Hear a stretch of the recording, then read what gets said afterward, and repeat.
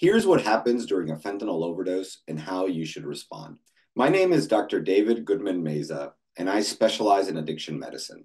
The signs to recognize of an overdose are the person will lose consciousness and will not be woken up by talking, yelling, or rubbing their chest. Next, you may notice that their breath slows down and becomes very shallow. Each breath can become more than 10 seconds apart and progressively longer until they stop breathing altogether. With this, their fingers and lips may turn blue or ashy.